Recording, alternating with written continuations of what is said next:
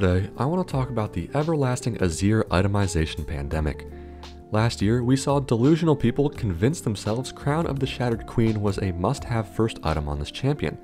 Now this year, possibly an even worse item path has taken root, Tank Azir. Even the best players in the world are building this trash on Azir and rightfully getting punished for it. Now not every Azir I've seen does this build every game, but I see it quite often nowadays, and it needs to be called out. Unfortunately, we see a similar line with other champion builds like Twisted Fate, as pro players appear to be allergic to doing damage. Azir is a hyper-scaling damage carry, and this build doesn't do damage. I'll be using Chovy in Game 3 of the LCK Finals as an example. Let's take a look.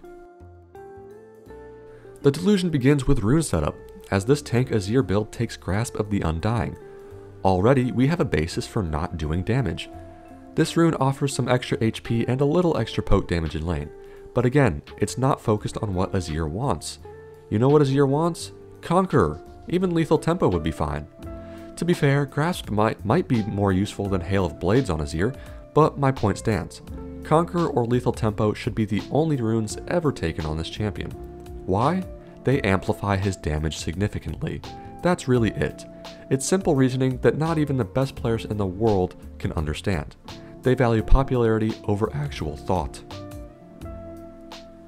In terms of the itemization itself, it starts out pretty well, as Chovy builds into Liandry's first.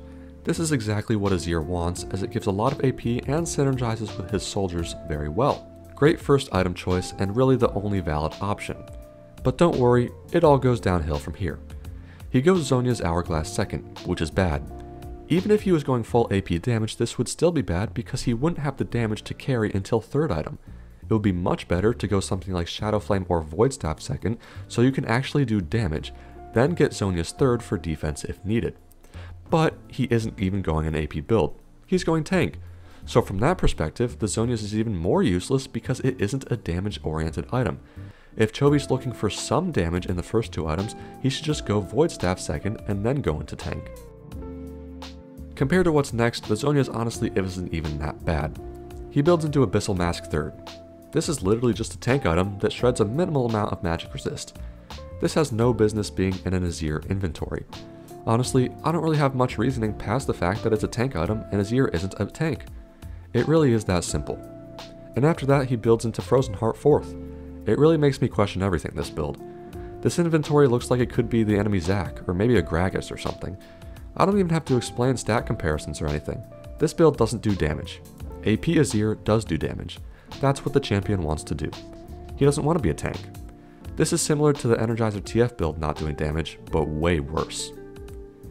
And it really did show inside the game. Aside from Chovy going 1-6, just watch the team fights and look how little damage the Azir does. With double tank topside and now a tank mid lane, Aphelios has to do everything this game.